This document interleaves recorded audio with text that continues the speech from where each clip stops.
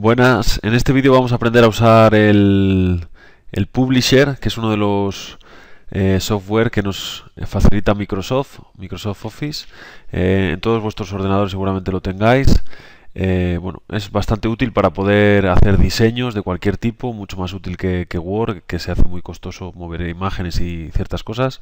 Y bueno, vais a ver que su uso es muy similar. lo primero que tenemos que hacer es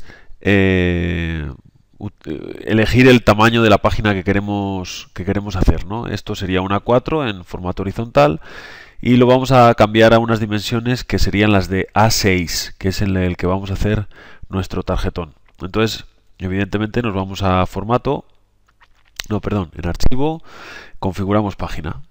Eh, y entonces, ya que A6 no viene por defecto, entre las opciones que nos ofrece el publisher, pues vamos a ponerlo aquí el A6, si no me equivoco, es 100, o sea, 14,8 centímetros por 10,5.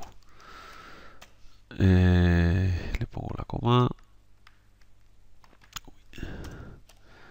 le damos a aceptar y ya nos hemos, hemos cambiado el, formato. ¿Veis aquí que pone 14,8 por 10,5? Podríamos, en vez de hacer horizontal, si nuestro diseño nos gustaría que fuera más bien vertical, pues podemos cambiar los parámetros y convertimos en vez de en horizontal en vertical. Cambiamos el ancho por el alto y sería suficiente. Bueno, ahora vamos a empezar a ver el uso del programa. Muy sencillo.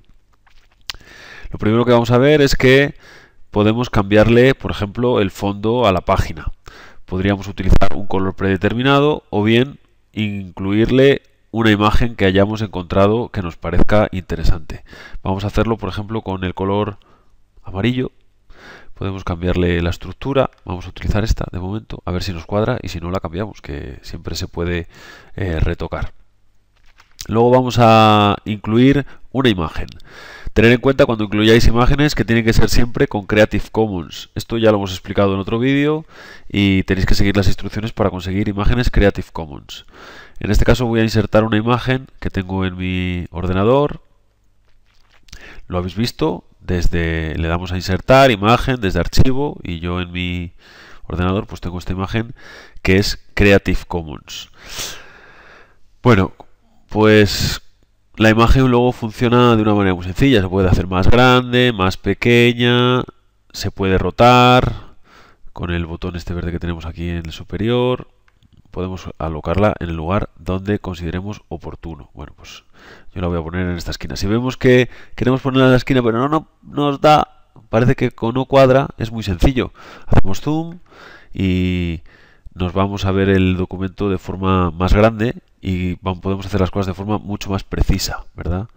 Por ejemplo, ahí ya nos cuadra con el, el borde de la página. Luego, evidentemente, como cualquier otro documento, podemos insertar texto. ¿Cómo se hace? Muy sencillo. Insertamos cuadro de texto. Una vez que hacemos, marcamos donde queremos que aparezca el cuadro de texto y ponemos el texto que consideremos oportuno. Ese es el nombre de nuestro proyecto, ¿verdad?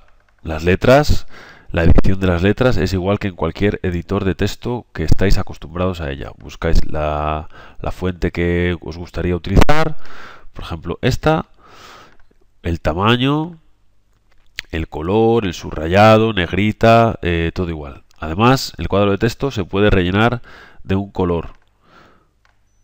Podría ser algo así, bueno, cuando hacemos los cuadros de texto y los fondos y todo esto, tenemos que tenemos que conseguir que, que la que haya una sintonía de colores y que no sea nada estridente, como no exactamente como lo estoy haciendo yo ahora, pero lo estoy haciendo un poco para que aprendáis, lo estoy haciendo un poco a voleo, ¿no? pero tenemos que conseguir que los colores del fondo y de las letras cuadren unas cosas con las otras y que tengan una sintonía. Bueno, básicamente las funciones de Publisher son estas. Insertar cuadros de texto, insertar imágenes y luego, bueno, tenemos muchísimas más herramientas, pero las más útiles, por decirlo de alguna manera para nosotros, van a ser estas.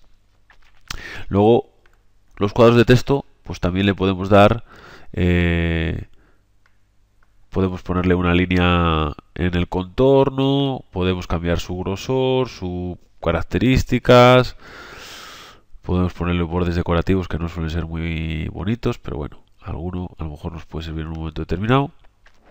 Le damos a aceptar y ya tenemos, bueno, pues veis que va, va cambiando. Se trata de ir trasteando y ver las utilidades. También podemos meter formas. También las formas, evidentemente, también se pueden cambiar eh, todo lo que se quiera. El grosor de la línea, el color de la línea.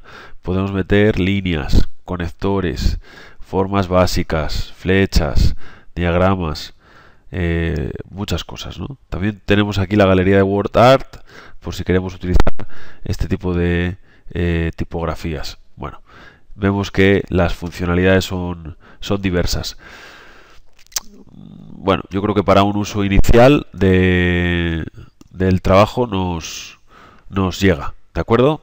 Eh, recordad, Microsoft Publisher. Lo tenéis en vuestros ordenadores y espero que su uso os sea de agrado. Venga, un abrazo.